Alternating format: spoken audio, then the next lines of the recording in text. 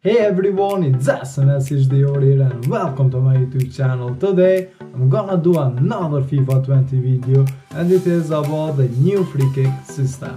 Hope you enjoy. Before you continue watching this video, smash that subscribe button if you want to see more of my FIFA 20 videos. So yeah guys, for FIFA 20 you only need to know three things. Where to use it, who to use it and where to aim.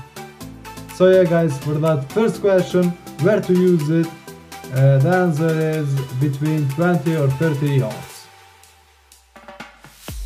For the second question, who to use it, the answer is you need players with higher accuracy. So like Toni Kroos, Messi or Eriksen or wherever the player is with higher accuracy, you need to use that one for that team you play. So if you want to score goals around the ball, uh, to curve the ball, you need uh, players with higher curve and of course with higher accuracy.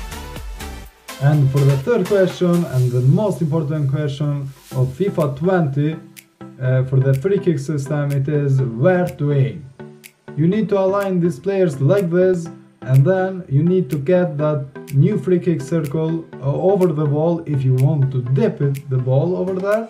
And if you want to make a curve for the ball you need to take that new free kick uh, circle aside the ball. Now guys the controls are different because uh, with the left stick uh, you aim the ball with the one you move and the right stick is to control uh, the spin of the ball. So yeah guys uh, with this one you aim it and the right stick uh, you spin the ball or you can make a dip to the goal. So you have to use is it like this if you want to spin the ball just like this from bottom to top. You just spin it and if you want to dip it in you need to go from bottom to top. And there you go these are the new controls for the free kick on FIFA 20. And the shot bar you need to use just 1.5 bar, uh, but it always depends from the position you are on the game.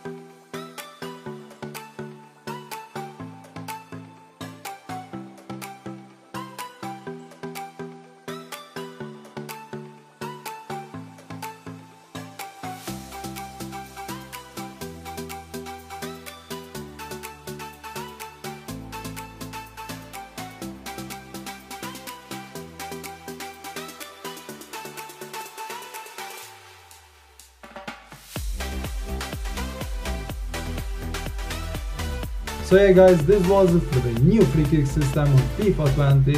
If you enjoyed this video, give me a thumbs up and don't forget to comment down below uh, what do you think, is this the best free kick system made by EA Sport and let me know what should I do next.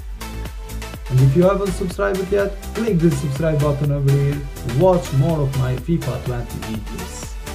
Thanks for watching and see you on the next video.